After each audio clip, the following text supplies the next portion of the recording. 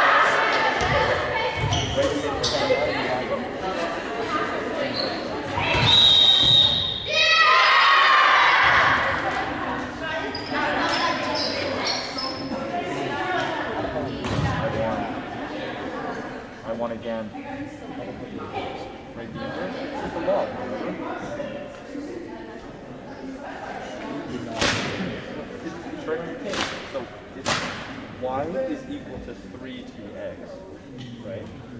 Your base remains 3, so log 3 of x is equal to y.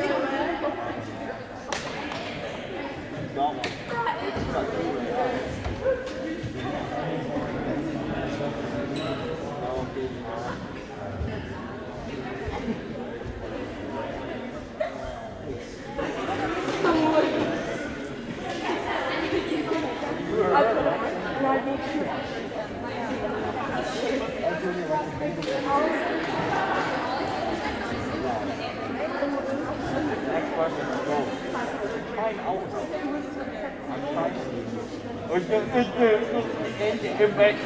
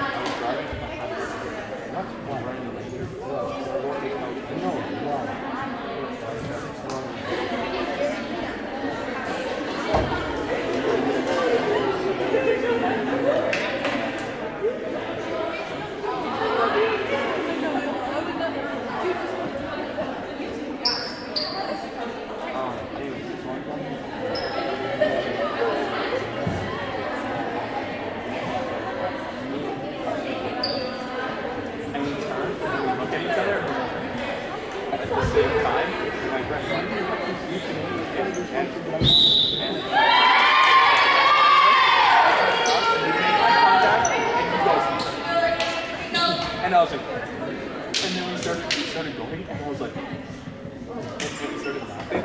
And then I go and like she finally turns off and we're driving. And I go, damn, that dog is so cute as well. And he goes, there was a dog there? He's like, I couldn't tell you what type, color, size that thing was. I was like, he's a big ass golden retriever. And he goes, did not see it.